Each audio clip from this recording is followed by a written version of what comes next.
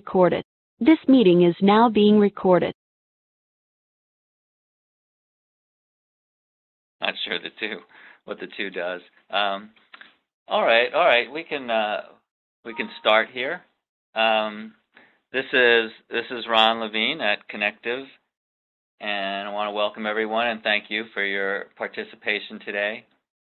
Uh, have two really great speakers from from Future, who are both editor. I think. Oh, Mike, uh, have you, are you now editor in chief? Because I Yes. I. I apologize on that. no worries. I got an old listing there. Two editors editors in chief, and um, uh, so so we'll get to that in a minute, and uh, and then whoever uh, we'd love to hear from the people who are on after after the presentations to uh, just go around a little bit and and and see how that impacted you. Uh, I do like to. Uh, this is our, our Neal Awards timeline, where, where in fact a couple people couldn't make it today because they said they were they were en route to the uh, judging. So we're, we're almost there. So uh, finalists will be announced next week, and and then the big luncheon is March 27th. So that's coming up. Um, what do we got here? Okay. Well, um, all right. Before we get to to Sherri and Mike, uh, just wanted to kind of introduce topic. Um, I, just wanted to give an example of of, of my own uh, my own world. So yesterday, so I I do a, a curate a newsletter for Connective that goes out every day, the daily, and and yes, yesterday I saw a story about Ex- Extelligence Media and and they're not a member, but apparently they they launched. They're a big B two B company, and they launched a pharma unit. So it so it sounded important, so I posted it, and then uh, within 15 minutes, the the president of of Extelligence uh, subscribed to the daily, which is great. And and then uh, I alerted my boss, the CEO here, Jeff, and and then I think Jeff was going to reach out to him, uh, you know, for membership possibilities, and, and he thanked me, and I, but but to my thinking, that's that's what I need to do. That's the way it's got to work now. I, I mean, I have to think like that. That that that to bring in new members. I mean, it's just not not enough anymore for me to to do a good newsletter or write a good story or or that. Uh, I mean, if Jeff, if that that works and they become a member, that, that's going to be really good for me.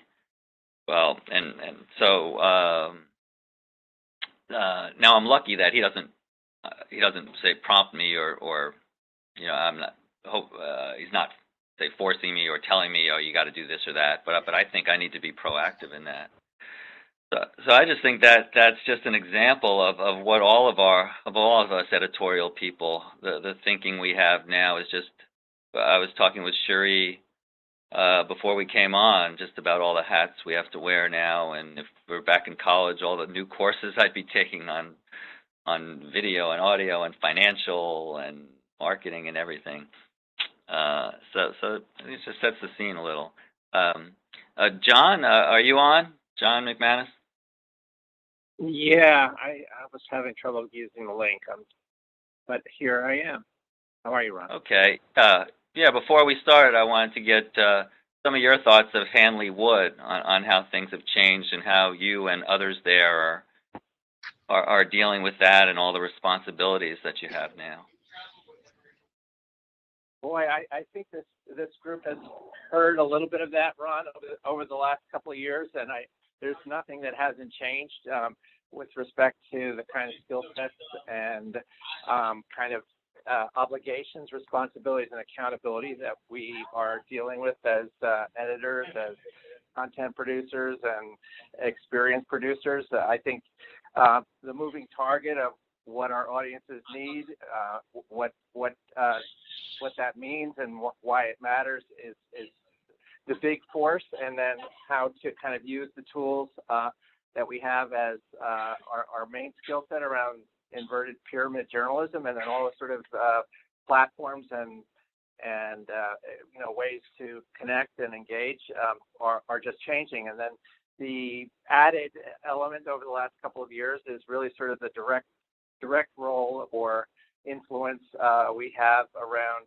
um, being magnets for money, uh, both from the standpoint of advertising and sponsorship, and then also in terms of the kinds of uh, lead generation, demand generation, the kind of uh, content marketing aspects that uh, content uh, can can serve as. So it's it's really sort of a, a bunch of moving targets that uh, make it so that it's quite fluid and dynamic right now, and uh, we're energized by it. But it's we're trying to keep up, keep up, and keep pace with how we try to how we try to be there for our users.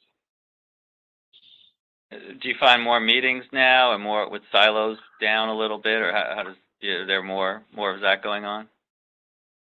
Um, we have, uh, uh, yeah, we have a proliferation of meetings, um, you know, and so there's a lot of work that gets created in each of them, and so we're trying to kind of um, figure out how to cadence them and and uh, make them really productive and tr- have them serve for several different kinds of uses in terms of how people come out of them and and know what to do. Um, so yeah, there there's a lot of conversations that are our new internal partners um, trying to work and figure out the right process um, and try to be productive, uh, uh, kind of in an uh, autonomous way, uh, so that it's not always depending on like uh, huddles for ev- every single thing that gets done. Okay, all right, thanks, John. Uh, uh, let me introduce Sherri. Um, I, I was very fortunate to come across her a week ago as as the new editor in chief of Laptop Magazine, and uh, and really uh, we we connected at, at first, and then I found out she went to Rutgers, where I went, so that made me even double excited and proud. um, so um, uh, yeah, Sherri, please uh, please yeah tell us uh, about about you do and your challenges and responsibilities. Um, sure. So again, my name is Sherri L. Smith. I am uh, recently named editor-in-chief of Laptop Mag.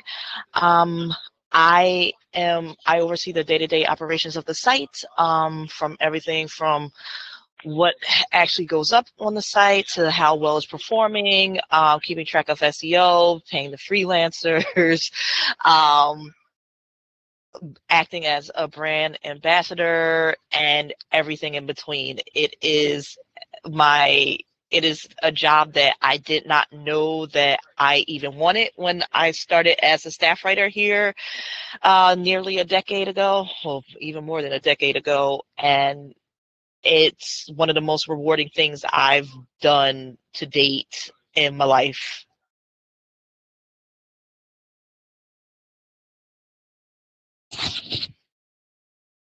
How how how much contact do you have with with with with Future? Who do you report to? How does that how does that all work? Um, so basically, um, I still report to uh, Mr. Mark Spoonauer, who has um, moved up to global editor in chief, and there's another title that is a director. I, I might correct me if I'm wrong. Is it editor, editorial director? Like there's Yep. two, there's two titles that he is now. Um, Yeah, it's editorial director. okay that he um is using and um he basically oversees all of the Purch brand sites and that includes uh laptop mag tom's guide tom's hardware um and uh, um AnandTech and so basically how we work is um prior to our promotions, Mike and I worked on both sites, uh, being TG and laptop. And now in our new roles, we are basically focusing on a particular brand. So I am focusing on Laptop Mag and covering, of course, all things laptop, but also uh, tablets and anything that you can connect to a laptop we're going to cover like we have been tasked with um, rapidly and aggressively um, expanding into new categories, which is exciting.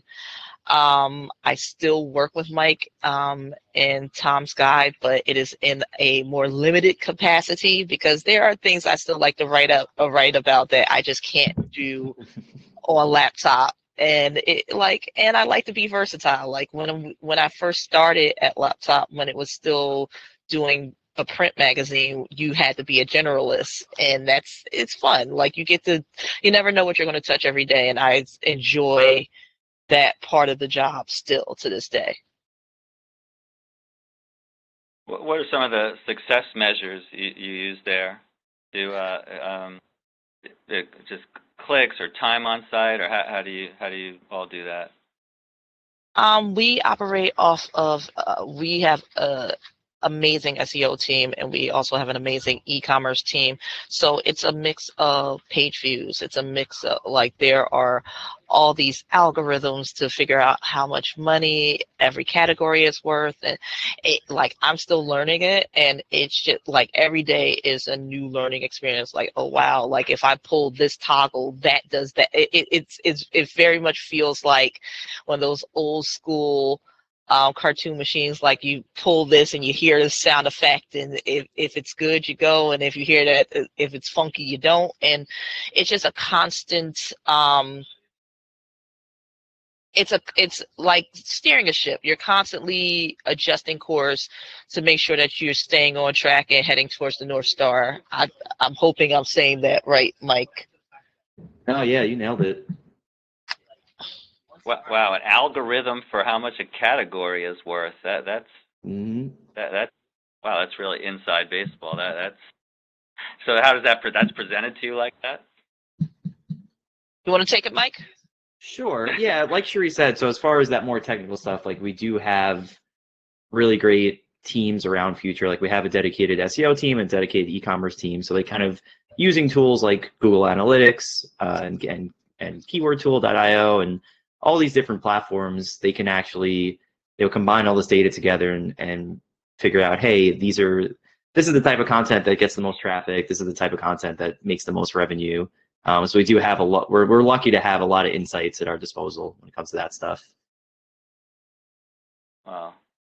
And I would add that it helps us shape like the journalism that we want to do because like yes um like best pages are um one of the key drivers of um e-commerce for us but it it also like i like to call it paying the bread and butter gods. Like you pay the bread and butter gods and you get to do then you get to have your candy and the candy is the journalism like the like doing the deep dives and go and meeting uh, with um with um, product heads and going behind the scenes about this um, hot new product and, and getting exclusives and doing all that ex- all that work that makes being a tech journalist worthwhile. Like it like the, it's just learning a new aspect of the job. When i first started as a staff writer i had no idea. All i wanted to do was write and play with play with the toys.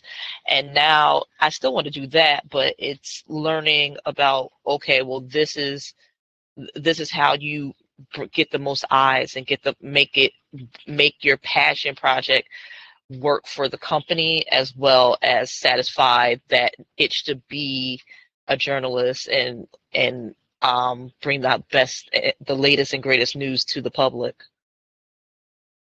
Right right Our are all the editorial people uh, now kind of uh, um, uh, uh, normalized or used to, to, to looking at the numbers now before that on what to cover, or, or, or is it a combination now of, of what you think is out there versus what, what's getting clicks, or uh, how, how does that work? Hmm. I would. On, on what you, how do you plan? How do you plan? You know, what's what everybody's going to cover? For for laptop because we're a smaller team than Tom's got, we have to be very strategic. Um, we are a mighty team of four. So for us the bread and butter is like in addition to best pages our reviews. We live and we live and die by our reviews um, by being first by being best. Um, by and as we expand into new categories, we definitely rely on the e-commerce and SEO teams to help us um, find the best way to present the products so we can get that visibility because we're like we're literally a team of four competing with teams of 25 in some cases at other at comp- competing um publishing houses like even even with our sister sites like we're like one of the smaller teams in the portfolio and but we still like i have an aggressive goal of um publishing 200 reviews a year. And I'm hoping and I'm hoping to surpass that if we're if we play our cards right and we play strategy if we do strategy and we're also getting um, we're also launching video we're also launching more features and behind the scenes. So I, I just have ambitious plans but I think that our I, I'm pretty sure well actually I know that my team can do it. We we're amazing.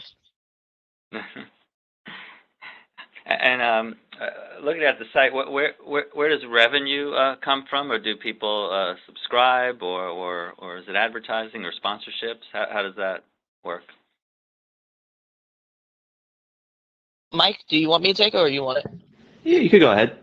Um, basically, um, we uh, we go. There are no subscriptions, um, but we do e-commerce. So if you go on any laptop mag or any Tom's Guide site, and you'll see a link, um, a buy link right next to the product, um, which is it will you'll see it in our reviews, but our best pages are where you'll find that mostly. Um, our best pages are basically summaries of the things that we have reviewed. So if someone is looking for best laptop or best headphones or best um, gaming mouse, um, there's a easy breezy, beautiful way to find it. It's a, um, a page with a summary of everything we thought about the product. We typically don't include anything that's lower than four stars. Um, we have we rate out of a five star system, so um, no, nothing lower than four stars. Um, if it's an editor's choice, even better.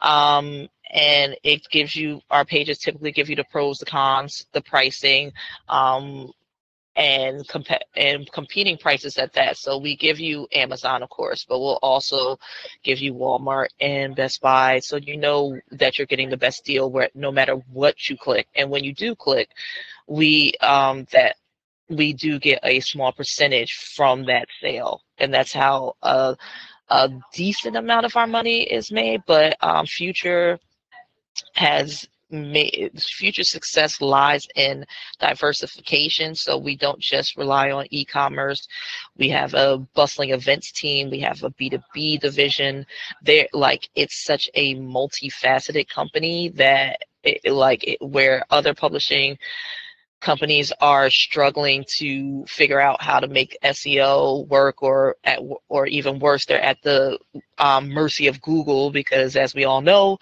Google loves to change the algorithms without warning. And one thing, one minute the strategy that was working for you uh, now is working against you, and you have to again frantically right the ship.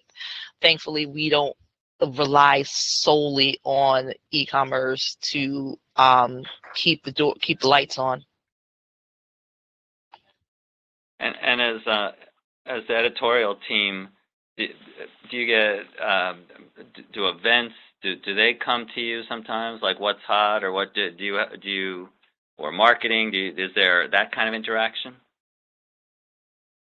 Um, we definitely work um closely. Like the sales team will sell something and like okay, like and I big ups to our sales team for respecting the line between church and state. Um, they do they'll sell something like, hey, do you have anything or are you working on anything that can work with this campaign? Like they don't thankfully they don't sell us up the river and say, Hey, we've we've sold this right now I need you to write this because I have worked at places that do that and did that a lot. It it never ended well for any involved. Right. oh, that's good. Good. All right. We might have a, a, a couple more questions uh, uh, later, but we can uh, we can, we can uh, let Mike uh, have a go here. Sure. Um, so yeah, just to introduce myself, I'm Mike Andronico. I am the editor in chief of Tom's Guide. Like Sherri, I just stepped into this role. I was managing editor previously, and I've been part of the Tom's Guide slash laptop team since 2013. Uh, so Sherri and I have definitely seen a lot of changes and acquisitions and you know things evolving over the years. Uh, but kind of like Sherri does for laptop, I, I kind of oversee the day to day for Tom's Guide, uh, managing our buying guides, making sure all of our evergreen content is staying up to date, making sure we're covering the news we need to be covering, and that you know everyone's just kind of staying on top of their beats and and, and staying uh, aware of you know the big products and the big announcements coming. Uh, and that's on top of the things that a lot of us do, whether it's you know traveling to major events. I was just in San Francisco yesterday for Samsung's big event, and you know we all make a lot of TV appearances and things like that. So yeah, that's kind of what I do in a nutshell. What, what was your your background before? Did you um come Before- from, from yeah before like are you journal uh, journalism? I'm I'm always it's wonderful now that it, you people move so so easily into the video or audio podcast and all that. Yeah, so I actually, so yeah, I I went to college for journalism. That was always kind of my focus, my goal. Um, Tom's Guide was actually my first full time, you know, online media gig. Uh, before that, I was doing a bunch of freelance and also working at uh, an SEO copywriting company. Which is funny. It's all kind of come full circle because SEO has become so important for what we do now, and just optimizing our content for Google and making sure people can discover it. So it's you know it's interesting how this the skills you pick up in other places uh, become applicable. Yeah, no, absolutely. Um, yeah, here's uh, this slide. Wow, it talks about a lot of the a lot of the things you do, huh? Yeah. So yeah, how so Tom's Guide, kind of in a nutshell, and Sherri touched uh, uh, touched on this a little bit for laptop. You know, we definitely, I would say our bread and butter is kind of the more SEO friendly buying guide content. So you know, we get a lot of a lot of traffic from things like uh, best smartphones, best TVs. You know, helping people find the best product for their needs, and you know, re- and also just the individual reviews. People looking up reviews of the Apple Watch, of the iPhone, of Samsung's new TV, you know, the you know latest PlayStation, Xbox. So that's kind of our our bread and butter. But again, we we try to be original. We try to you know we do a lot we do a lot of our own testing, as does Laptop, and we try to really weave in as much original reporting as we can. We have a a variety of you know everyone on everyone on Tom's Guide is really an expert on their beat. So you know we have we have a an editor Henry Casey who kind of owns the streaming beat and does a lot of great original stories there while making sure we're you know making sure we have stories on all the latest shows coming up and all the all the big devices like uh, the Fire TV and the Roku and things like that. You know we have a great security editor who stays on top of the big threats and writes breaking news around that. So everyone at Tom's Guide really is the the expert in their beat, and that really shows in the content, not just in kind of the everyday reviews, but a lot of the original reporting and features that we do. How, how do you handle uh, um, editing these days, or, or just or looking over other people's things? We're, we're all so so busy that uh, sometimes, man, it's, I yeah, think people just trust trust me here, but but it's, it's a lot of responsibility unless other people, somebody else It's- looks at it, right? How do how do you guys do that? Sure, that's a great question. I, I hear Sherri laughing because we both deal with that so much, with just how to find the time for it. I, to me, it varies by the assignment and by the person turning it in. You know, for the most part, when it comes to news stories, especially, the most important thing to me, obviously, I want the copy to be clean, and you know, I'll usually give things a quick skim. But for a news story, the most important thing to me is that it has a great headline that people are going to want to click on and read. So, you know, we do a lot of headline workshopping. We'll use our Slack to kind of brainstorm ideas. Um, and you know, I obviously we do we do edit the copy, but it's not super meticulous compared to other types of stories because we really want to get the news out. We can always kind of clean up things after, uh, but we want to get things out fast. Where we're a little more meticulous is when it comes to the bigger feature stories. So if someone's turning in, you know, a huge feature, let's say comparing the new Galaxy S20 to the to the iPhone 11, you know, we're that's going to need a more thorough edit, and you know, we we're fortunate to have an, an actual dedicated copy desk that will give you know, they will give stories a thorough, you know, legitimate copy edit to make sure things are as clean and as grammatically correct as possible. So the amount of attention a story gets in terms of editing definitely varies by the type. You know, especially a lot of a lot of us editors, um, for the sake of timeliness, will, will self-publish fairly often when it comes to quick news stories. Because you know m- most most folks on our staff are pretty clean writers. You know we know what we're doing. So in the sake of like getting breaking news out, we'll self-publish, but we'll also still have people go in and read, you know, go in for a back read and make sure everything's okay. Um, no, it's great to have a, a copy desk still. Um, I, I, I've written before here about headlines. That, that, that's interesting. That that you know, I'll write a I'll write a story, take time, do do make it as good as possible, and then in five minutes, oh, I got to get it up. So here's a headline. But but but what you're saying is you you really need to take time. You guys take time with that.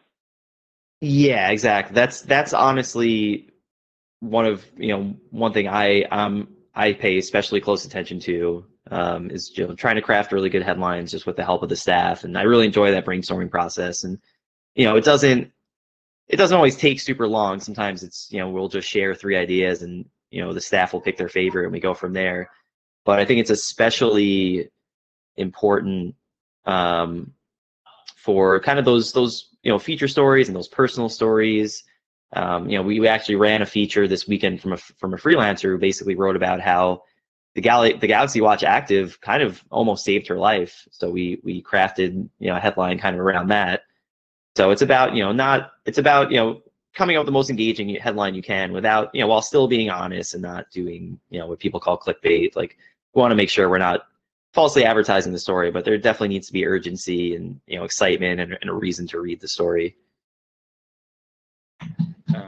Is this a typical uh, homepage where you look? look Yeah, like? so if you scroll down, um, so yeah, this so this is our homepage. As you can see, it's similar format to laptops. We're all on the same platform. Um, but if you move down a bit, you know, this week Samsung announced a ton of new phones, so we're you know we've been featuring a lot of that on our homepage. But we, we try to curate things to have a good mix of just the latest news in smartphones and security and gaming, things like that, and also weave in our latest reviews and buying guides. So it's definitely always it's always about having a good mix. Oh, and where's the uh, where's the Tom's Guide come from? The name? Uh, so yeah, so that's uh, Tom's Guide and Tom's Hardware. Way back in the day, I forget the year, uh, were founded by someone named Thomas Pabst, uh, who hasn't been with the company for a long time. Uh, he's just kind of the original founder, and I believe Tom's Hardware came first, and Tom's Guide spawned kind of as an offshoot of that uh, back during previous ownership. This is probably uh, easily over a decade ago. So yeah, that's kind of a legacy thing. That's you know from that comes from the person that originally founded the sites, and you know we as as a company, first as Purch and now as Future, kind of inherited that and have just kind of rolled with the names because they become you know they've become recognized, uh, kind of a bit of a household name in the industry. Um, uh, for for Sherri or, or, or Mike, um, I know Future came in recently. Is it, may- what was it? Two years ago, or how long? Have have, have they Um, your, your boss? we were re- we were acquired. Uh, it'll be two years. Um, in sept- in September. It'll be two years since we've been acquired by Future. Yeah, yeah. I know a lo- a lot of folks uh, in Connective have have have gone through that. How, how's those transitions been for that? Um, the tra- like honestly, this like starting when I was at laptop when laptop laptop was Bedford Communications. I've been through two um acquireships. sh- We'll we'll call it. Um, the only the only thing that I can say about it is like you have to be ready to roll with the punches because change there's a lot of change going on and if you're change adverse it could be a stressful experience um, for me, I've always welcomed change and I've always welcomed the challenge. So, and I've, and luckily here at Laptop and by proxy Tom's Guide, we have a great culture. We have, like, I've been, again, I've been here for a decade and some change and the things that haven't changed thankfully are the some of the people that I've worked with which is Mark Spoonauer and Mike Prospero and Avram Pilch, and they like they were the ones that like taught me and helped develop me into uh I guess the leader that I am today and they like through their take and their calm nature to embracing the change and their proactiveness it like eh, it, it gave a culture where you could be okay this is this is changing and it's it's a little scary but we're going to get through this. And so when we went through this recent one i had just gotten my first staffer and he's like are we going to be okay? I'm like we're going to be fine. Change is constant. We're just we're going to roll with it and we're going to do it and we're going to be fine and we're here two years later thriving. And and is the number of, of women in the field, Sherri, uh, starting to pick up? Um, and the tech in tech, yes. Like I sit behind behind me is space and life science, and it's an almost all lady team, and they're all awesome. Um, I would l- like to see more ladies in the tech sites. Um, but it's it's starting. It's it like it, it like I'm seeing more of us, and that's always a good sign. Oh, yeah, that's great. Um, I, I, I'd like to open it up um, um, to everyone here. Are there are there any any questions or, comments about about what you've heard or how, how things are going with your in your shop? Hi, this is Greg Friese from Lexipol, and I have a question for Sherri. First, I guess the two questions. One would be, you know, I've been skimming a few of your articles. It looks like you try to inject some personality, some of yourself into reviews, and I wonder how important that is to engaging readers or even increasing the commissions that those articles generate. And then also, second, just have you seen trends in how the affiliate commissions have changed over time, or is it really just traffic, more views, more clicks, more commissions? Well, for the first one, for the second question, I would say it's the latter of the two. It's like volume is king. Um, the more clicks, the more page views, like it, it, translates into more revenue. Um, especially um, um, Michael agree. We during Amazon Prime Day and what we call peak trading, which is uh, the Black Friday to what? When did Green Monday become a thing? I'm still trying to figure that out. Green Monday is this new phenomenon to me that we're also working through uh, after Cyber Monday. I don't know what it is, but apparently a lot of people are shopping on this Green Monday, so we are there. Um, when for those periods, we basically are all hands on deck.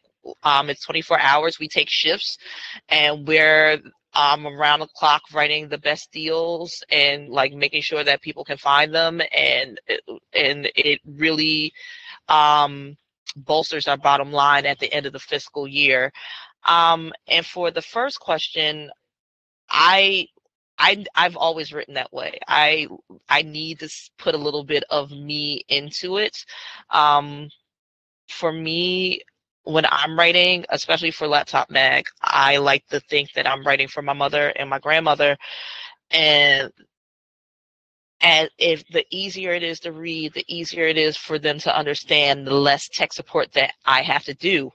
Um, it hasn't worked yet. I still have to do tech support every single time I go home, but that is the overarching goal of um, the copy. But it, I think that putting a little bit of personality into your copy helps in the long run. Who wants to read a boring uh review? Like you can you can do that on amazon. You can just oh well here's the specs and here like this is what it's supposed to do.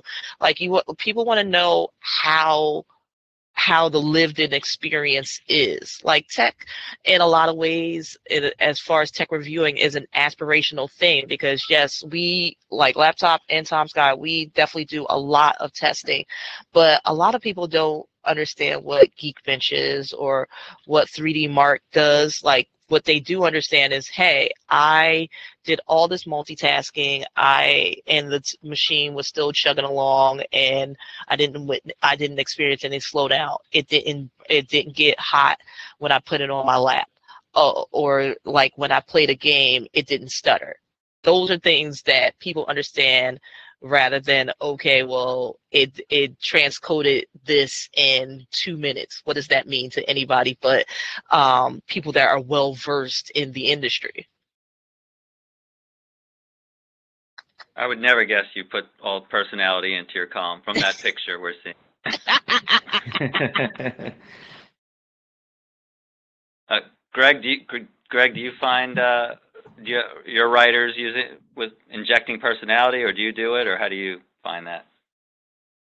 Uh, so I think yes, the you know sometimes I have to, uh, I guess takes. I more often than not, I think we're trying to remove some of the personality that, um, depending on the topic of conversational tone, may or may not work, or um, you know our writers aren't trained journalists. They're cops or firefighters or paramedics. And some of their regionalisms or things that might be appropriate uh, for the fire station might not work in an article for the world to see. Uh, and i guess it's even questionable whether they're appropriate for the fire station uh, but you know so that i think sometimes is the you know the balance we're trying to make is to you know help our writers realize that we're giving them a really big platform and as such they might have to be a bit more formal than they think. And that, that can be a tough call these days. yeah sometimes it's really easy. It's sort of like well there's no way we're printing that. Uh, thanks but no thanks. And then you know i think i said on a previous call the complaint we get the most is you know you're taking away my voice and uh, you know changing the way i would want people to hear me. Uh, and you know that's then tough to follow up with that somebody would say well you sound like a dope when you write that way um, they don't want that feedback Mike, how, how about on your side uh, uh, with, with that? Do you have do you kind of give your writers a, a lot of leeway? uh, in terms of what they can write about or how they go about it. I think it. wa- Um, yeah, with their voice and and I, I, I- how they establish Yeah. that. I yeah, I, I actively encourage writers to not only write in their own voice, but you know, write about the things that they're passionate about, as long as it's kind of within our wheelhouse and, and has potential. Um, in fact, I kind of have a bit of a, a reputation for if I just hear, if I overhear someone talking about like you know something that happened with tech in their personal life, I'll I'll say like, oh, that sounds like a story. You should write it up. Um, yeah, it is very know. much a, he- a he or she who smelt it, dealt it type of deal over here. Yeah, it's like, oh, it sounds like you just volunteered yourself. Um, but no, I, I do actively encourage our writers to to write about you know the way tech impacts their personal lives and, and, and definitely write in their own style, their own voice. Uh, again, our editor Henry recently did a great piece about you know getting the Apple Watch for the first time and his first few months with it, and how that kind of changed his life and his fitness routine and all that. Uh, and there's there's so many other great examples of that where it's you know we're we're, we're writing about the the products and the you know the products and the topics we normally cover, but from a much more personal angle, which I think people connect with um, because you know I, I really like I really like when we're able to just write like everyday people, and as Sherri says, like write things that your mom can relate to, your grandmother can relate to. So I, I always actively encourage that type of content. You know, I, I try to make sure we actually have a steady flow of it. In fact, because I, I think it's one of those things that makes us stand out. Because you know all of our competitors uh, are doing a great job with the just the, the bread and butter, you know, having having good SEO, having all the buying guides for all the hot products. But I feel like what's what really makes an outlet stand out, uh, especially now in 2020, is you know having being able to establish all of your writers as distinct voices and people that readers will want to come back to to read whatever they write. Um, that's that's kind of you know one of my one of my big focuses and goals is kind of you know put make sure that all of our writers kind of become an established voice uh, and and become people that folks want to keep coming back to to, to read their latest stuff. Right. Yeah. No. I, and I've written about uh, now pushing writers more to uh, uh, say speak at events or or be a personality like you're saying. I, I've often said I, I I wish I was pushed more when I was younger, the because I think I would have enjoyed it, but but uh, it kind of wasn't happening back then. Yeah, and and to that point, you know, we also I don't know if we've spoken this before, but you know, we've also been we also do a fair amount of video content. We've been you know pushing pushing that more, especially the past year or so. And I think it is really important to kind of put a face and, and a voice to the content that people are reading. So anytime we do a major review for for a phone or a TV or or or streaming product, like you know, we we really try to make sure there's a great video to accompany it, so you could kind of hear the author talk, you know, talking more in depth about what they've covered, and you know, just letting the readers kind of see the writer's personality a little bit more. Uh, that's a great point with video. Um, are, are there, there any other questions uh, or comments?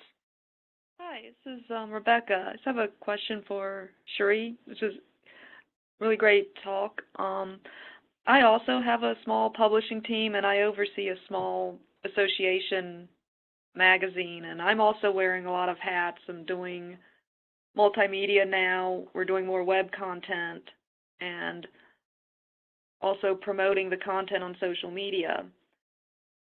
And you also have a small team. How do you um, manage a lot of these competing demands? Uh, it is a work in progress. Um, time management is definitely something that I am always um, trying to grapple because there are never enough hours in the day. One of my uh, staff writers is giving me the the uh, evil eye now because I owe him some blurbs, um, and I'm willfully ignoring him. Um, it, it, it like some it, like some days you just have to like work from home and like just okay these are the things that i need to get done that i can't get done here because then you're sometimes when you're in the office there's a fire every every 10 to 20 minutes that you have to put out and it's easy to get distracted and wrapped up in the administrative and lose track of the thing that you that one goal that you had to do for the day or you wanted to do for the day. Um, so i try to schedule out my day and and become like Mike is an expert at this. Mike is the note taking king. He has notes everywhere and he's so organized. And I, I'm like, God, how does he do? Like, how is he? So I'm trying to adopt a little bit of uh, Andronicoism. if I don't put something in a Google Doc, I, I'll forget it. That's the only reason why I do it. Yeah, because I, I, it's the same. Because when I was younger, it was like, no, I got my memory is like, yeah, this and this and then No, boom, and yeah. boom. And now it's like, no, though. And there, like, there's twenty, there's twenty things on this list that I want to get done today, and I like if I don't. I'm finding if I don't write it down or if I don't have notes to keep me um honest that some things will fall through the cracks and like it's okay sometimes but it can't be it can't be an all the time thing like it, it, it uh, so some days like are slotted out for me for admin stuff other days are slotted out for writing then um something that future has instituted that i think is amazing is um, one-to-ones where we meet with our staffers at least uh, once a month or bi-weekly um one like one-on-one with your staffer like to go over um goals for the year and objectives and just talk about and just eh, you know keep the air clean like are are you worried about something? Is there a problem? How can i help you? How like because in my, in my mind my job for them is to help them get to the next level whatever that whatever they deem next level to be. So at the beginning of the year we i spoke with all of my staffers and asked them what they what their goal was. And i'm like okay so this is what we're going to be working on. Here are the milestones that we have to reach to get you there. And it's so it's a constant work in progress. So every month or every two weeks i i sit down with each of them and we talk. And we we plot like okay here's where you were here's where you are and here's where we're going. Um, Rebecca mentioned social media. Is, is that is that something uh, each writer is responsible for, or is there a separate person for that, or how does that work? thankfully there is a we do have social media people that are the stewards of our instagram and our twitters and our facebooks and our tiktoks and like they they take the things that may seem mundane and make them viral and they like they're ama- amazing at their job um, i do recommend that people um, they should also be the shepherds of their own social media. Like if you do like if i do a great story i definitely will be on social media crowing about it or any of my staff members. Um and it, but like thankfully that's not all that's not also on my plate like we have like great social media people that take care of that and like they do like they've been proactive and say, seeing the story within the story like okay you reviewed this laptop which okay that's great but how do i make this viral how do i make this even more interesting That's a good setup. That, that's nice to have that. Uh. Anyone else? Uh, a comment or a question?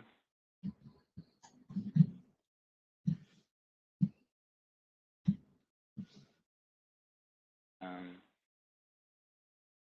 all right. Well, I- um, I don't know. Uh, we- We've been pretty thorough, I think. Um, if I look at my list, if I have anything else. Uh, oh. Uh, Don, did you have anything? No, I've been fascinated to listen. I, I, I think maybe I just would be curious uh, about, you know, the experience people are having with respect to uh, evidence and evidence and how it's uh, supported with data and facts and how challenged uh, uh, some of our disciplines around evidence is. You know, where it's debatable and where facts are debatable and how that becomes an additional kind of, uh, you know, challenge for us. It's, it's, it sort of fits into some of the scoping of what we've been talking about, but it might be another topic for another day too. Um, I I personally like fake news is the worst thing that could have happened to our industry. Like in in less than four years, uh, our our industry as a whole has taken a blow, and we we uh, journalists are supposed to be truth tellers, and when when the public's opinion of us has been tarnished so badly that they that if we are we we're telling them the truth and we're being labeled as fake news it's detrimental. Um it's detrimental to our way of life to our society it's detrimental to the people that are um tasked with being those truth tellers. Um and it's something in the coming years that we're going to have to double down against and really uh fight back against because no one i don't think anyone becomes a journalist to become famous. I know i didn't. I i just wanted to report and tell and tell the news and and bring it as accurately as possible so i i i really do think that we we kind of are under attack and we need to come up with concerted efforts to stem the tide of um, this erroneous label.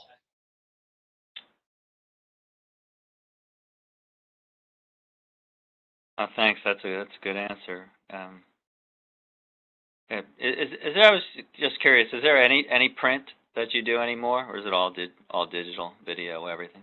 Unfortunately, we have gone all digital, but Future owns over a hundred publications, and a lot of them are still print. Um, print is doing super well across the pond. Um, it'd be nice. It'd be nice to uh, bring it back to print, but I don't like the pace that we're moving now with online. I don't know if that'd be possible. Like we'd have to have much larger teams to do that. Right. Oh, it's interesting that uh, across the pond, right? That it's still popular. Huh. Um. All right. Well, if, if there's uh Give one one more one more shot if anybody has anything. Okay, well, I don't think anyone ever complained about uh, us finishing a couple minutes early. Definitely not. I, I really want to thank you, you Mike and Sherri. This was, uh, as John said, it, it was it was good stuff. It's things we all deal with every day. So uh, I think we're gonna get a lot of views when we post post it. Um, And um, sorry, go ahead. No, I was just going to say thank you for having us. It w- it definitely was a pleasure for me. Like I always love talking journalism, and like the evolution of the of our industry. Like when I came out of school, it it, it looks nothing the it looks nothing like the way I, when it did when I came out of school, Mhm. and that's a great thing. It, it, we're growing with the times, and I'm just excited to see what the next 20 years is going to bring. Oh wow, I'm worried about tomorrow. Okay. I'm I'm an Uh, optimist at heart. no, that's good. No, you're right. It's it's it's it's amazing. Um, all right, all right. Well, to um, to everyone on the call, I, I think uh, uh, you'll see a you'll see a survey. So uh, I, maybe on on topics and and on perhaps what what the best time is for people. But um, but but this was really good. So so thanks and and uh, we'll be in touch. And take Yeah, care. thank you so much. Thank Bye, you. Yeah. Thanks, Bye, guys. Sherri, Mike, and Ron. Thank you. Of course. Take care. Bye. Bye. That's it.